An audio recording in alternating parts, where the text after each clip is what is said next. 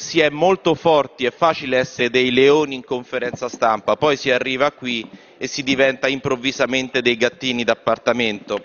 Perché su, questa, su questo tema degli extra profitti avete fatto una figura barbina, avete dimostrato che eh, abbassare la testa è forse uno dei principi su cui pensate di mantenere la vostra poltrona, però questa era l'occasione ed era lo spirito del Movimento 5 Stelle quando ha fatto questa proposta di affermare che quando gli interessi salgono a questi livelli non si chiamano più interessi, si chiama usura. Strumentalizzare una tragedia come quella di Mestre per fare una battaglia sull'elettrico è una roba da schifo. Grazie, con le collega. persone che stanno lottando tra la vita e la morte. Quando abbiamo eh, sentito la conferenza stampa del ministro Salvini, una versione papete più sobria ed elegante, diciamo, in giacca e cravatta, ci ha detto tra le altre cose che non stiamo parlando di qualche manciata di milioni. E ha ragione, non stiamo parlando di qualche manciata di milioni. Dopo le modifiche stiamo parlando di una manciata di milioni. Il succo è che a chi veramente sta vivendo le difficoltà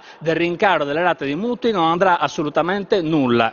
La Presidente del Consiglio Meloni è andata davanti alle televisioni a dichiarare che era stata una sua iniziativa. Io mi chiedo come mai non ci sia un giornalista in Italia che si sia alzato a chiederle ma se per otto volte l'avete bocciata in Parlamento, con che coraggio, con che dignità sta dichiarando che è stata una sua iniziativa. Le banche sono state molto veloci ad aumentare i costi, ma non sono state altrettanto veloci ad aumentare gli interessi e stanno macinando miliardi e miliardi di euro che stanno pagando gli italiani. Non sono parole mie, sono parole del ministro Salvini che se ha una dignità vada di nuovamente di fronte alle telecamere e si scusi con gli italiani per non essere riuscito ancora una volta a mantenere una sola promessa. Io sono contento che ci siano i ragazzi qui oggi ad assistere e anche ci sono tanti che ci seguono e quindi proprio a quei ragazzi io vorrei dire guardate che questo governo è pericoloso ma non tanto per, per noi ma per le future generazioni perché stanno precarizzando il mondo del lavoro, stanno affamando il ceto medio ormai annullandolo e non stanno facendo nulla per sostenere i cittadini che oggi sono in difficoltà. Vi dovreste solo vergognare e chiedere scusa. Di fatto non cambia la situazione, in quanto è stato fatto un errore dal governo e quindi è il governo che dovrà andare a spiegare ai tassisti che si devono andare a comprare la macchina e non se la possono prendere al leasing. Questa è la visione di paese che avete, classista e crudele con i più deboli e invece scendiletto con i potenti. Avete una percezione distorta della realtà. In che mondo vivete? Anche se del resto, se avete un ministro che pensa che i poveri mangino meglio dei ricchi, forse pensate che queste persone vivano in una reggia. E allora voglio farvi una domanda, una domanda che si chiedono tutti i cittadini. Ma com'è che quando chiedete i soldi alle banche lo fate su base volontaria e quando invece li chiedete ai cittadini dovete prenderli per forza e diventa obbligatorio? Questa è una domanda che io mi faccio da cittadina. Tratta dell'ennesimo decreto omnibus che intende affrontare tutto senza risolvere nulla. Agricoltura, trasporti, telecomunicazioni, extra profitti, rinnovabili, granchio blu. Insomma, dentro ci avete messo di tutto. Non si riesce davvero a capire neanche cosa abbiano in comune alcuni dei citati temi con gli asset nazionali.